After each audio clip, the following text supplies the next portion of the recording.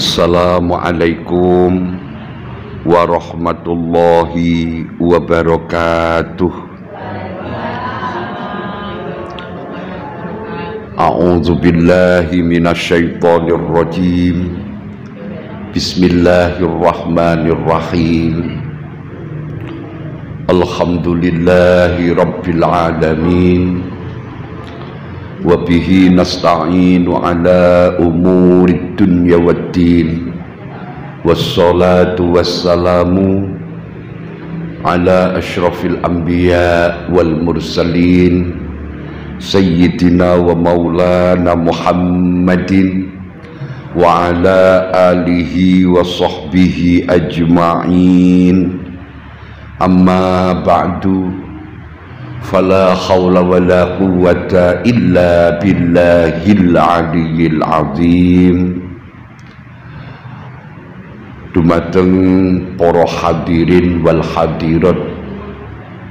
Wabil khusus imam sekaligus segenap pengurus langgar eh, uh, al irsyad sedaya mawon ingkang mulia akan sepindah Monggo kita sareng-sareng nondoi rasa syukur kita wonten ngarsanipun Allah Subhanahu wa taala atas pinten-pinten nikmat, rahmat, hidayah, taufik serta inayah. Ingkang sampun dipun limpahake dhateng kita sedaya sing sahingga wonten dalu niki. Kita kalian Gusti Allah tesih dipun paringi takdir bareng-bareng angsal kita nambahi ibadah monggo angsal kita nandai rasa syukur kanthi ngalap barokah suratil fatihah kanthi harapan mugi-mugi angsal kita ngaos. Malam kemis niki tansah dipun paringi istiqomah. Saidik kathah untuk tambahipun ilmu ingkang manfaat soho barokah. Al-Fatihah A'udzu billahi minasyaitonir rajim. Bismillahirrahmanirrahim. Alhamdulillahi rabbil alamin. Arrahmanir rahim. Maliki yaumiddin. Iyyaka na'budu wa iyyaka nasta'in. Ihdinas siratal mustaqim. Siratal ladzina an'amta 'alaihim ghairil maghdubi 'alaihim waladdallin. Amin.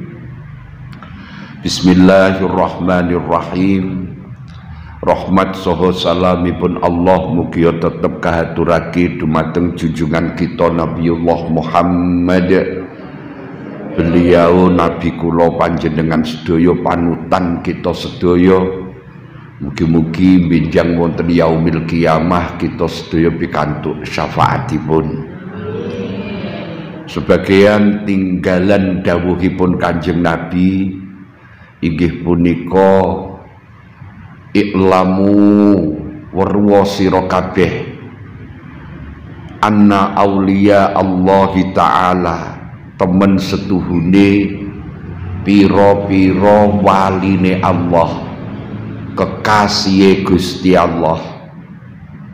Iku lam yanalu ora merkoleh sopo aulia sa'ata rahmatillahi ing jembari kawelasane Allah. Waridwanihi lan ridone Allah. Bikasrotil ibadati kelawan akeh ibadah. Walakin nalu tetapi ini podo merkoleh sopo aulia Allah bisa khawatin nafsi sebab lomone ati. Wal istihanati lan amrih ngremehake bidunya kelawan urusan dunya. Dawuh niki artosipun insyaallah bilih piro-piro kekasih Allah itu derajat gampang diwelasi Allah gampang disenengi Allah. Ridho itu kan seneng sing tenanan sing saking senengi bahkan sing disenengi kadang megelne kaya awake dhewe niki. Niku lek Gusti Allah ridho jik panggah seneng. Ngoten senajan sedina nglakoni dosa cilik ping pitung puluh lek kita untuk ridhone Allah kita bar salat gak lali maos istighfar ping telu di situ kita gampang untuk pengapura nih Gusti Allah. Mulani kita harus berharap dalam kehidupan dengan kemampuan ibadah kita yang terbatas muga-muga iso ngasil nih Allah Ta'ala. Dados para waline Allah gampang entuk rahmat lan ridhone Allah. Niku la bikasrotil ibadah. Ora sebab akeh ibadah sing bangsa murni madhep nyang Allah tak niku mboten. Ibadah sing murni madhep nyang Allah langsung karo Allah niku kaya dene ibadah salat ibadah poso. Ha niku. Niku langsung madep yang Allah. Lintune niku kebanyakan enek hubungannya kalian sesama. Ibadah sing bersangkutan dengan urusan hak adami. Nah, contohnya zakat. Niku ibadah yang Allah ning enek hubungannya karo wong li wong liya. Haji. Ibadah yang Allah. Ning enek hubungannya karo wong liya. Contohnya wong kuasa haji niku lek wis mampu di dalam biaya nggih budal lan mulih semanten ugi enek sing dingge ngopeni sing dadi rereksane sing ditinggal ning omah. Lah saat ini duwe budal mulih tok keluargane sing ning omah dijarne kele-kele. Niku ya gong kuwasa gong kenek diarani mampu untuk melakukan haji. Mergo apa? Rereksane sing neng omah open-opene sing neng omah ora diga digatekne. Sampai sekalipun open-open kuwi duduk rupa menungso katakanlah rupa hewan kalau nate pas nopo badhe budal haji niku kalau nate duwe manuk terucuk niku nyedeki arep budal haji niku abah kula niku dawuh teng kula le manukmu tak tukune le damel napa bah jenengan ngersakne manuk wis oleh oleh tak tukune. Basa kula oleh ditumbas kali abah kula. Ya krana bungahne teng putrane mungkin numbas lek gak salah nika dituku 30.000 sembilan sembilan. Nah niku 98 apa 99 niku dituku 30.000 bareng ngoten lah kok dicul nih karo abah kula. Lho pun ditumbas kok dengan cul nih tobah iya kowe haji arepe aku yo moh mbok tinggal haji mbok bagai ngopeni manukmu ning omah yo moh. Ya adan sebab setengah saking kemampuan bisa melakukan ikhram haji lek hak adami sing dadi tanggungane ning omah niku diselesaikan utawa diperhati diperhatikan terus kekasih Allah niku ki oleh rahmat lan ridhone Allah kan dikatah mboten mergo mung ibadah murni madhepe yang Allah tok mboten.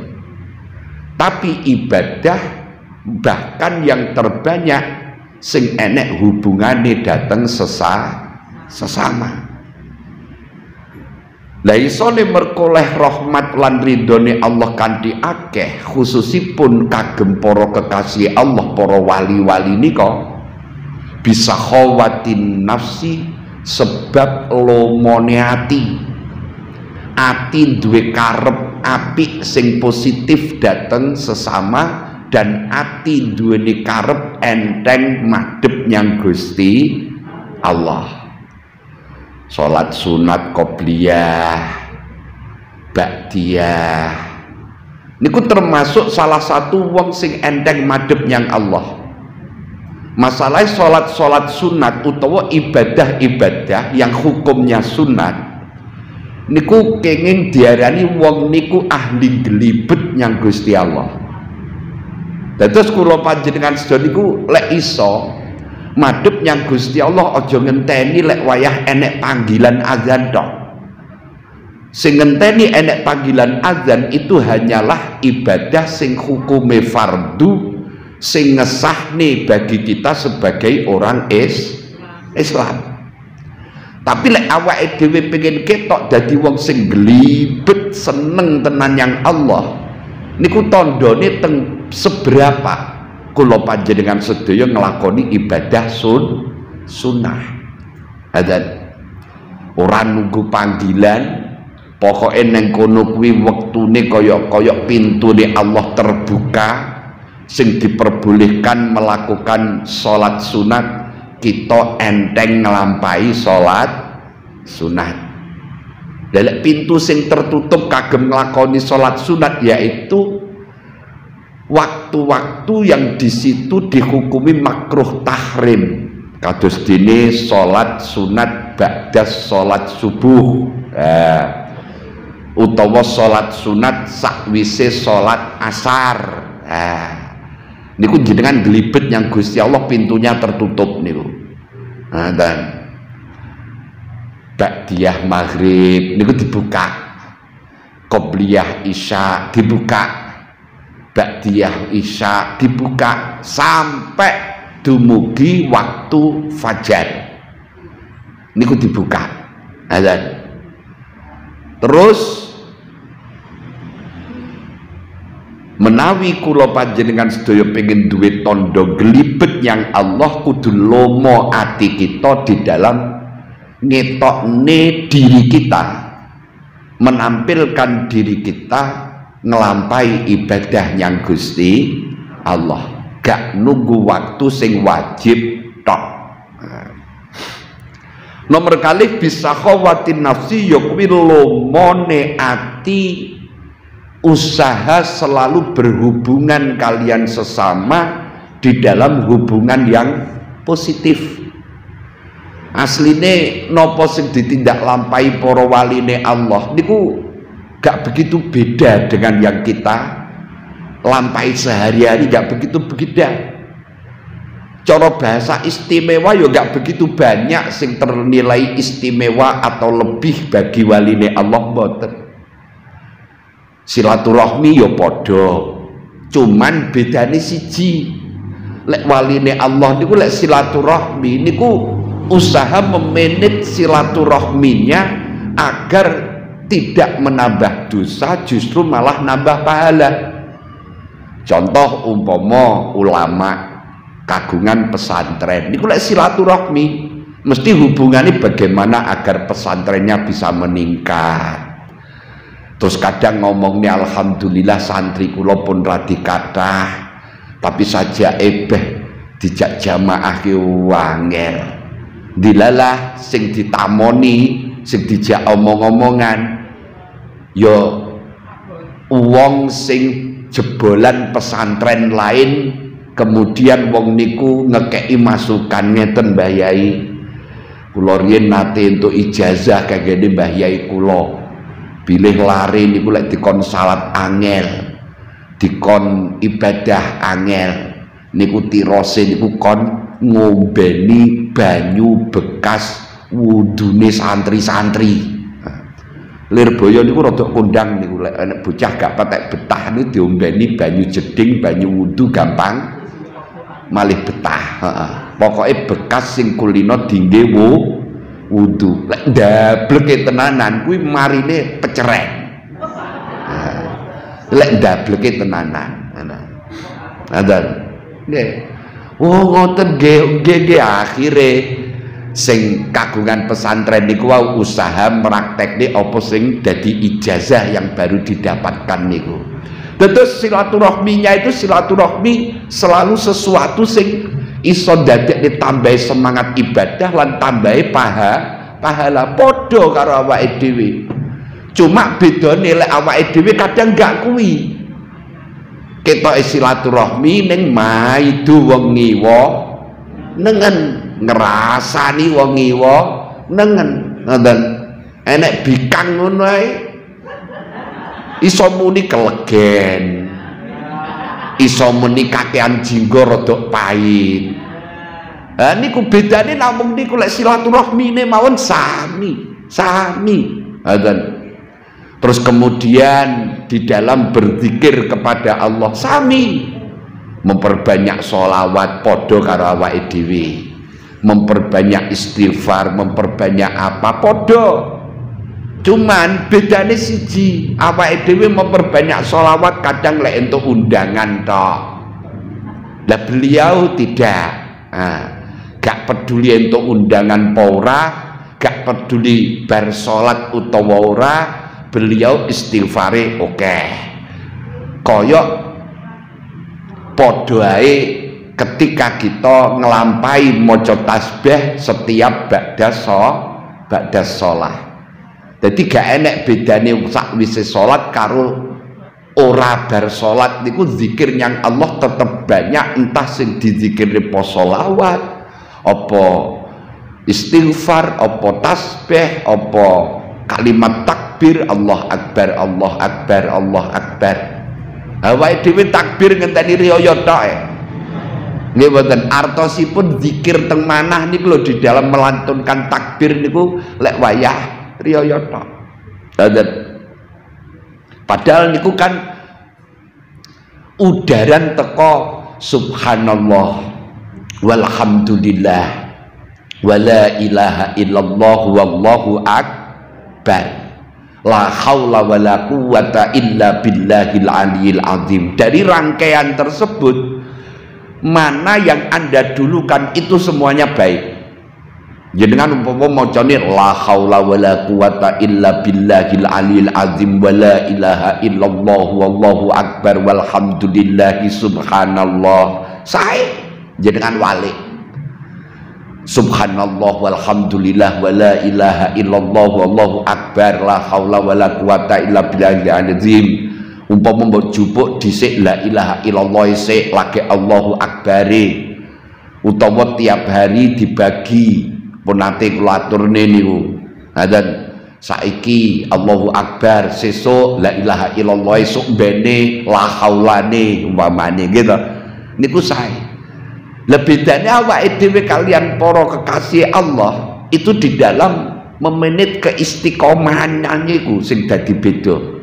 Mulane beliau niku gak patek sepiro ning dilalahi apa penyuwunane gampang dijabahi Gusti Gusti Allah. Ah.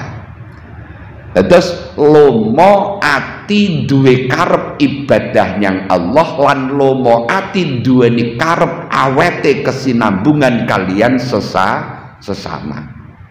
Bahkan lomo pun Gusti Allah niku lebih memenangkan di dalam ibadah kita sing enek hubungannya kalian sesama.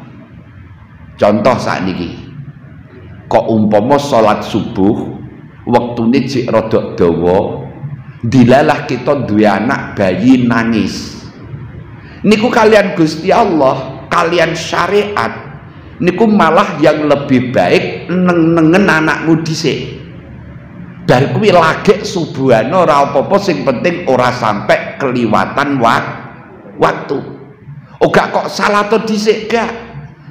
Bahkan sampai nyuwun sewu sapa wong sing arep salat wektune kok sekirane cik rada dawa dibarengi karo wetenge luwe Gusti Allah malah mempersilahkan mangano dhisik.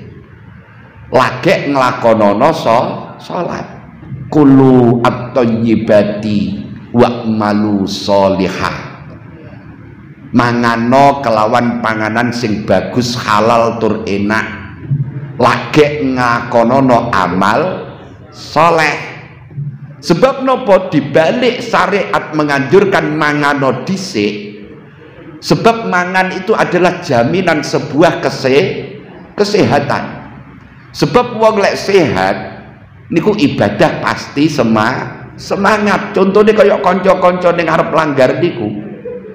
Niku untuk undangan kok saja iki berkate rodok gede. Wer ngoten ya terus panganan itu penting untuk bagaimana agar kita niku mempunyai kesehatan yang lebih sing teng mriku. Dados lantaran iso semangati ibadah tengersane Allah selain niku lek gak mangan dhisik bahaya. Engko dengan salat dilalah wetenge celuk-celuk kerucuk. Niku mesti salate gak iso khusuk. Sebab kathah wong salat niku mek gur jentat-jentit tok bakno niku asline ya dodol lombok. Nggih dodol terong. Terus ngopeni toko. Ketoke salat. Tapi pikirane niku mikirne lombok regane kok ya ceblok ya. Dan lain sebagainya. Nah, bahkan saestu Allah Ta'ala itu lebih mencondongkan ibadah kita sing enek hubungannya kali sesa sesama. Lah kitab lain wonten dawuh enten dawuhipun Rasulullah sallallahu alaihi wasallam golongane 10 wong sing salate gak diterima karo Gusti Allah. Niku sing gak diterima dari 10 macam tersebut niku kebanyakan mergo kurang sesuai nih di dalam saene berhubungan kali sesama. Ada saat ini sing pertama. Pertama nggih punika rajulun sholla wahidan bi ghairi qiraatin. Nomor setunggal nggih punika wong lanang sing salate kuwi iki gak jamaah macane Fatihah ora iso. Nah, niku hubungan langsung karo Allah niku. Siji niku. Sapa wonge sing maca Fatihah kok gak iso? Ibarate sholat gak gelem jamaah maka sholat orang tersebut gak diterima nengersani Gusti Allah. Tapi ini enten solusi. Sopo wonge sing sholat ketika maca Fatihah jangan sekali-sekali berangan-angan Fatihah bagaikan Al-Qur'an. Alias niat maca Al-Qur'an ojo Sebab lek niat moco Al-Quran kita dituntut untuk fasih. Dituntut untuk fasih. Sebab moco Al-Quran gak fasih. Niku gak sah oleh melantunkan ayat Al-Quran. Mulai sampai enten pelajaran tajwid dan lain sebagainya. Lah pripun amri salat niku sah sedangkan Fatihahipun niku kurang fasih niatono lek maca Fatihah kuwi diniati maos kalimah thayyibah zikir. Nah niku senajan gak fasih tetep iso ngesahke so salat. Contoh kados jenengan sedaya nalika ziarah kemudian maos tahlil niku kan ada rangkaian beberapa ayat Al-Qur'an surat-surat Al-Qur'an wonten kaya surat Ikhlas, surat Al-Falak, surat An-Nas, surat Al-Baqarah. Niku biasanya kan dibaca ketika kita zikir kalimah thayyibah dan tahlil. Lah niku kan niatipun nggih punika zikir niat maos kalimah thayyibah. Seakan-akan angan angan kita itu jauh dari niat maca al Al-Quran. Maka walaupun wong niku dalam keadaan uzur katakanlah cara wong wedok ketekan tamu head bocor nggih. Nah niku cek diwenangne membaca kalimah-kalimah thayyibah tersebut. Padahal niku beberapa surat yang ada di dalam Al Al-Qur'an. Nah, terus lek maca Fatihah ketika sholat diniati maos kalimah yibah. Niku enten. Sing istilahipun memberi solusi sing kados mekaten. Sebab zaman sakniki niku kathah wong sing entuk hidayah iki wis umure nyedeki finish niku kata nggih. Biyen gak tahu belajar gitu begitu wis meh nyedeki finish lagi untuk petunjuk pengen sregep sholat. Pengen sregep zikir-zikir. Sedangkan ilate wis bundel. Bismillahirrahmanirrahim. Alhamdulillahi Rabbil Ngalamin. Ar-Rahmanir-Rahim. Gue begitu terakhir Wala bedolin oh, Enek bete barang Wala bedolin Nah ini gue diniati kalimah toyibah Tetap sah dan lah niku wau nomor siji sing salat gak diterima ya kuwi salate wong sing oleh salat niku dhewe Fatihah ora teteh. Tapi oleh maca Fatihah diniati maca Al-Qur'an. Pun nomor kali rajulun yusalli wala yuaddi zakatahu. Nah, nomor kali ya kuwi wong lanang salat. Maksudnya wong lanang niki ya murakapi lanang wedok gak lanang tok. Wong salat sregep ning zakat moh utawa gak gelem aweh zakat. Niku salate gak diterima. Nah niki pun mulai ya kuwi ibadah yang Allah tapi sing kurang pas di dalam mempertahankan mempertahankan hubungan kalian sesa sesama. Sebab zakat itu kan perlu orang lain. Jadi sholat sing neng kono moh nekadi zakat sholate gak diterima sani Allah. Nomor tiga warojulun ya ummu kauman wahum lahu karihun. Nomor loro eh, nomor tiga nggih punika wong sing ngimami sedangkan makmume padha pe pegel. Mergo kedawan surate bisa. Bahkan kadang pegelin mergo tingkah laku sehari-hari imami kurang bener nah, dan imami mau wegelin yang masyarakat ya toh? Sakar PDW dilalah kepotok dadi imam. Makmume gak enek sing taslim. Makmume niku gremeng. Kelakuan ra genah kok ya dadi imam to. Ya ya ha niku. Ha niku. Salate wong ngoten niku ora ketri ora ketrima. Azan azan dados dadi imam niku juga butuh mempunyai sifat sing sae terhadap sesa sesama. Dan gak gampang dipegeli cara masyarakat pegel tapi karena kita itu melakukan sesuatu yang baik. Contoh kita sergep uluk salam itu kadang-kadang jadi pegeli wong. Wong kami salamen. Kadang kan ngoten eh, tapi itu dipegeli karena sesuatu yang positif itu enggak masalah. Mergo niku sare syariat. Terus kemudian dia sering membaca istighfar, astagfirullahaladzim, astagfirullahaladzim, sergep wiridan. Neng ati. Begitu peduk wong dijak omong kaget. Mergo napa jik istighol, jik repot maca istighfar. Akhire begitu koncone ngejak omong kurang jenak lah sampean nek jagongan gini mbok istighfari rodok dilereni ya apik pancenan zikir akeh. Wong kami istighfaren. Umpamane. Nah niku pegel sing kita nggak perlu peduli terhadap pegele wong niku wau. Masalahnya nopo istighfar niku? Suatu perintah memperbanyak zi zikir. Nah, tapi lek pegele seneng rasan-rasan seneng maidu seneng nyacat wong liya akhirnya gampang dipegeli wong akeh. Sampai mendem barang.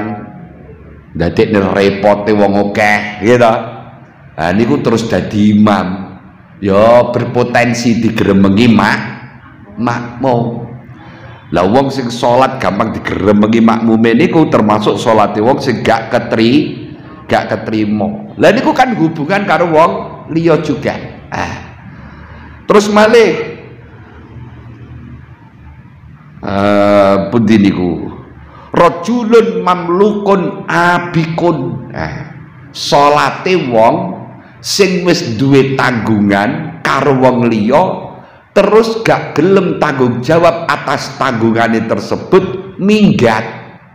Nah, wong duwe keluarga krono problem keluarga tentang rizki ataupun apa akhir iki pikirannya cepet beh timbangane repot mikir iki minggatai.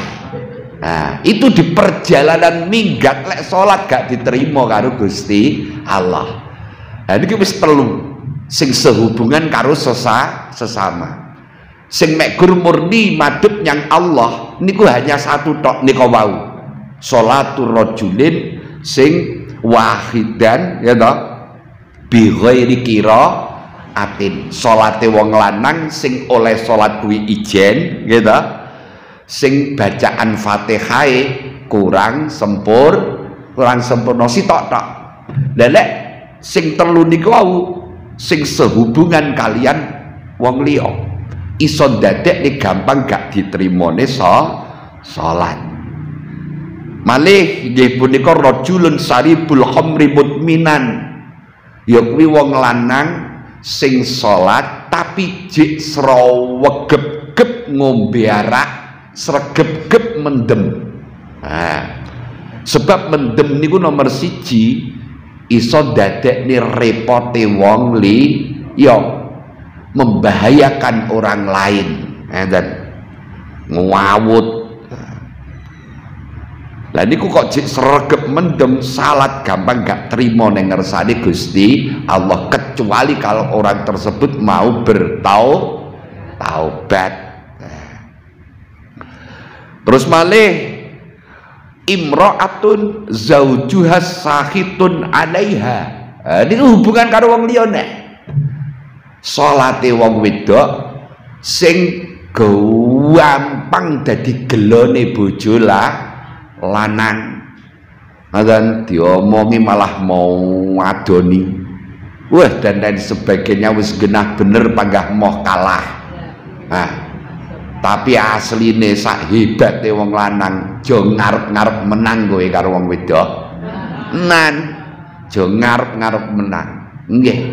Wong wedok niku adalah beh hebat. Makhluk seorang manusia niku sing nih hebat itu adalah seorang wani wanita. Dia iso kerja nyambi double iso ya eh, tenan mulai iso-iso ngomong bayi sak mimi ini pisan nyonggo gunung beh nan. Jagoan ya. Jagoan jagoan. Ada tapi di sini ada rambu-rambu. Sehebat seorang wanita. Juga gampang gelak nih bojo lanang. Sebab itu jadi lantarane dosone eh, nopo salate gak ketri gak ketrima ada umpama saiki sing lanang gampang kodok salate subuh digugah angel. Bagi wong putri sabar mawon sing penting wis netepi kewajiban gugah. Nggih gak usah nemen-nemen gak usah jadi masa masalah. Sebab kita ya kudu walaupun sing putri kadang salate trep tapi lek salat kan mesti neng jero omah sing omah kuwi hasil daripada kerjane sing lah lanang. Banyu ya ngono nalika wudu nyedote banyu ya dape sak sumure. Kuwi sing ngupakara sing ngopeni ya sing lah lanang. Omah di keramik hasil kerjane sing lanang. Nggih mboten? Mek urusan kodok salat ngono ae kadang iso dadi masalah kadang walah Pak. Pak kowe iki kepala rumah tangga. Salat gampang kodok. Ya aja nemen-nemen. Penting wis dieling. Elingne beres. Sebab nopo ngelingne lek kebacut kadang ya dadi mas masalah. Dan masalah. Saestu niku saestu. Ngaten. Sing penting dadi wong putri usaha takzim dengan kemampuan yang dimiliki terhadap suaminya golek fasilitas salate ben gampang diterima. Adzan ha niki dados sing gak diterima salate krana kesalahan langsung karo Allah niku hanya satu. Kebanyakan mempunyai kesalahan terhadap sesa sesama. Jadi Gusti Allah itu lebih peduli datang kula panjenengan sedaya tentang ibadah sing enek hubungane karo sesa sesama. Eh, mugi-mugi awake dhewe lek kekancan diparingi istiqomah. Kula wau matur kalih Pak Sopo kuwi mang awake dhewe lek kekancan sing apik aja gampang sering pepethuk biasanya lek sering kepethuk kuwi umume gampang waleh. Ana selapan pisan, seminggu pisan, petuk niku biasanya malah awet kekancan model ngono kuwi. Apa meneh sering petuk bar ngono gak petuk berapa hari mesti disuudoni. Apa loro awakmu kok suwi gak ketok? Nggih. Apa meneh kerja ning monco gak pamit karo koncone sing sering dipetuki.